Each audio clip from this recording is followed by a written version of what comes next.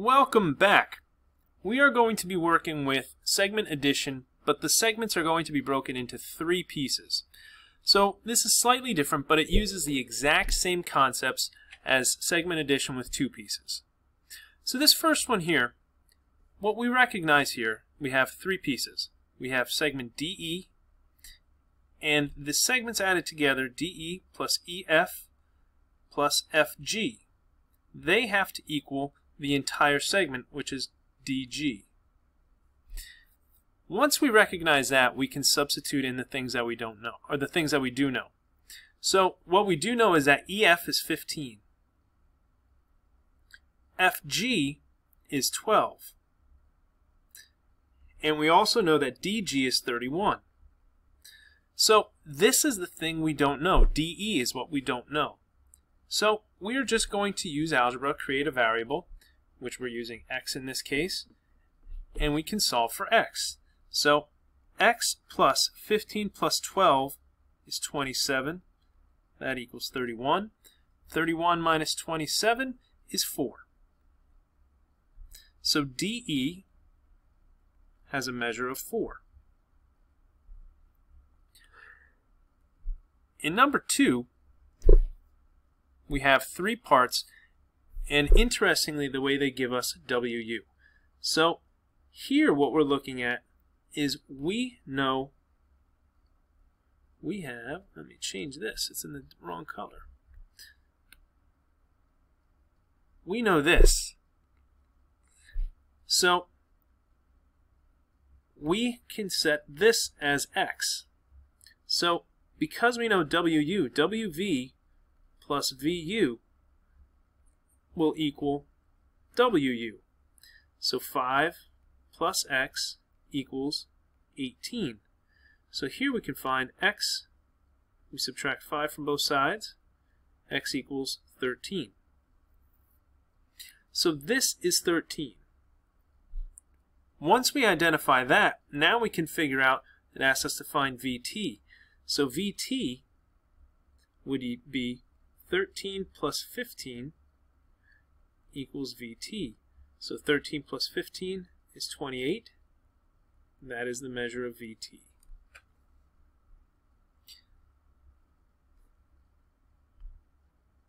Now number three, we're trying to find QT, which is the entire length of that whole segment. But the way they give us the information, we have to we have to figure it out here. So what we know is QS is 20. So we can figure this out. 20, we know that RS is 8. Oops. So 20 minus 8 will give us 12. So QR is 12. The other way we, can, we have to work on the other end here, so I'm going to change my color here, working this way. We know that RT is 23. So 23 minus 8, because we can take that 8 out, 23 minus 8 is 15. So this piece here is 15. What is the measure of QT? We're going to add these all up. 12 plus 8 plus 15. And that gives us 35.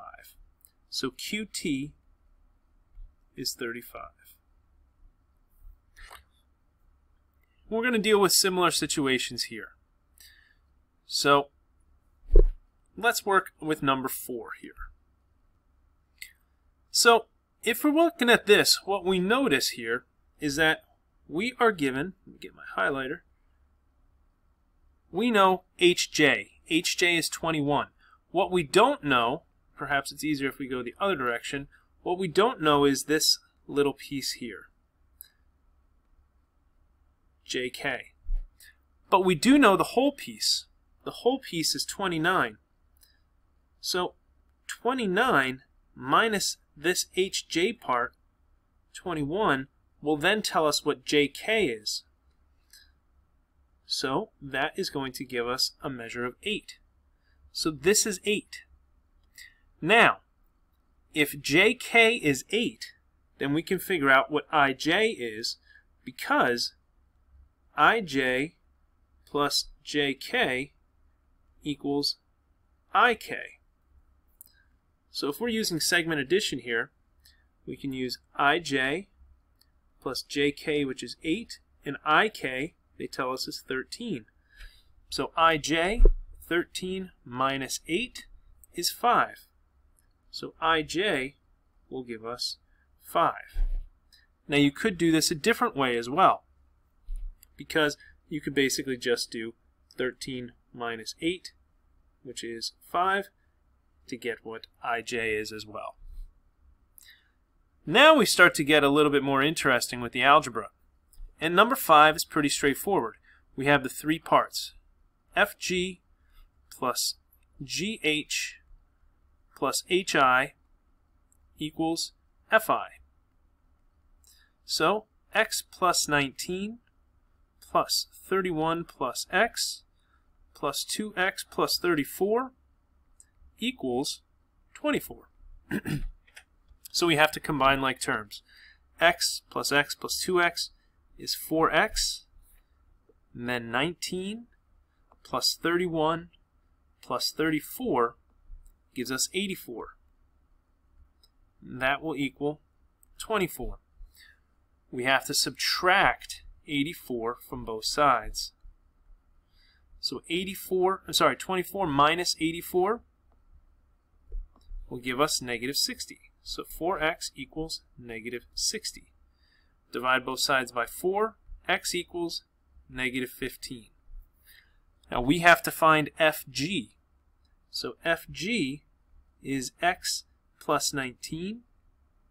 So fg is negative 15 plus 19, which makes fg equal to 4.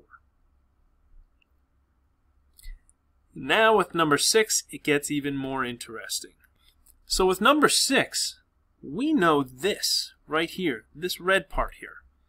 So we can figure out, let me highlight that a little bit more so we don't miss any of those parts. We can we have to figure out PQ. And we can actually easily do that because if PR is 5 plus 7x, and we know what QR is, all we have to do is subtract QR, which is 3x minus plus 5. And that will equal PQ. So I'm going to write this again. Um, PR minus QR equals PQ. So we have to distribute this negative in here. So 5 plus 7x minus 3x minus 5 equals PQ. So this will give us 4x equals PQ. So PQ is 4x. So now we can set this up to figure out what all these parts are. So now what we're going to do is we are going to use PQ and we also know what QS is. so PQ plus QS will equal PS. So 4x plus 22 equals 12x minus 2. So we can add subtract our 4x's from both sides. 22 equals 8x minus 2. We can add 2 to both sides. 24 equals 8x, which makes x equal to 3. So I'm just going to write this up here again. x equals 3. Now, with x equals 3, we can figure out what each of these parts are. So, if x is 3, then up here, this is going to be 12. PQ is 12. QR 3 times 3 is 9. 9 plus 5 is 14. So if we know this is 14 here, and we know that RS is part of that, we can find PR by adding those two things together. 12 plus 12 plus 14 is 26. Now you could also find this by plugging it in here. 3 times 7 is 21. 21 plus 5 is 26. In number 7, we have a whole bunch of parts, but we also have the, the whole. So what we notice here is that we have the 6. But the other interesting thing is that this overlaps in both of them. So one thing we do know, however, is FG plus GH plus HI will equal Fi. Now again, here's where we have to be careful.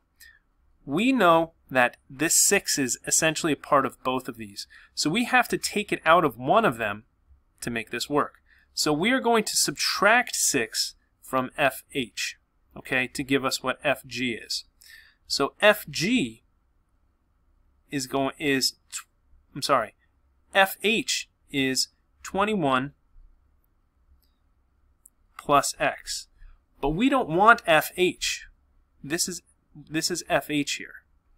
We want FG, and to figure out what FG is, we have to take away that 6. So we're going to subtract 6 from there. So this is FG. GH, we know, is 6. HI, we have to take that 6 away from there as well. So we have x plus 18, but we have to subtract the 6. And that's going to equal our whole, which is fi, which is x plus 28. So when we combine these like terms, 21 plus x minus 6. 21 minus 6 is 15. So we have 15 plus x. We add the 6. And then 18 minus 6 is 12. So we'd have x plus 12. That's going to equal x plus 28. We can combine like terms. We'll have 2x and 18 plus 15 is 33.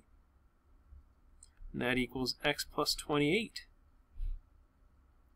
We can subtract x from both sides. x plus 33 equals 28. And x will equal negative 5. So with that negative 5, we're trying to find the measure of gi. gi would be negative 5 plus 18, which is 13. So gi has a measure of 13. For number 8, we have to break this into parts. So we know what CD is, but we don't know what DE is. We're going to have to find DF, which we have an expression for that. But we have to pull some parts out. So if we know what CE is, CD plus DE equals CE. So we can plug in things that we do know, CD is 3x plus 50 plus DE, and we know what CE is, which is x plus 36. So we are going to end up creating a, an expression to represent DE. So we can subtract the 3x from both sides. So 50 plus DE equals negative 2x plus 36. Now we can subtract 50 from both sides. dE equals negative 2x minus 14. So dE is negative 2x minus 14. Now that we found what dE is, we're trying to find dF. dF equals dE plus EF. So dF, we know, is 26 plus x. That is going to be equal to dE, which is negative 2x minus 14 plus 1. So 26 plus x equals negative 2x minus 13. We can get our x's to one side. So 26 plus 3x equals negative 13. Then we can subtract the 26 from both sides. So 3x equals negative 39, which makes x equal to negative 13. Now we can figure out what df is simply by plugging that in. So df is 26 plus x. We're plugging negative 13 in. 26 minus 13, which makes df equal to 13. So at number 9, we have a similar situation. Now, if you notice, that is what we know. That's kind of that's something we can work from. It's, sometimes it's easier to go left from left to right. So what we know is JK plus KL will equal JL. Now we can plug in the parts that we know. So JK is 17. Now we don't know what KL is. So we are going to have KL here. But that equals 38 plus X because JL is 38 plus X. Now we can figure out what KL is. We subtract 17 from both sides. KL equals 21 plus X. So KL is 21 plus X. Now, once we have that, we know KL plus LM equals Km. And we can plug all that in. So 21 plus X plus 2X plus 43 equals x plus 28. And when we work this out here, this is going to be 3x plus 64 equals x plus 28. Subtract an x. 2x plus 64 equals 28. 28 minus 64 is negative 36, so 2x equals negative 36 which makes x equal to negative 18. So now, x equals negative 18, but they ask us to find km. So km would be negative 18 plus 28, and km would equal 10. Similar situation with number 10. We can figure out going left to right that QR plus RS equals QS. So 3x plus 63 plus RS equals 9. So we can figure out what RS is by subtracting 63. So 9 minus 63 is negative 54. 3x equals, I'm sorry, 3x plus rs equals negative 54. We subtract 3x, rs equals negative 3x minus 54. Now we have to move to the other direction. So rs plus st will equal rt. So negative 3x minus 54 plus 32 plus x equals x plus 38. So combining like terms, negative 2x, negative 54 plus 32 is negative 22. That equals x plus 38. I'm going to make my x's positive here, so I'm going to add the 2x. Negative 22 equals 3x plus 38. And negative 22 minus 38 is six, negative 60. So negative 60 equals 3x, which makes x equal to negative 20. Now to find RT, RT equals x plus 38. Pull that down. x plus 38. We found x is negative 20 RT would be negative 20 plus 38. So RT equals 18. And that's how we do it. Hope you guys enjoyed that. Let's take a look. Hope you guys have a good day.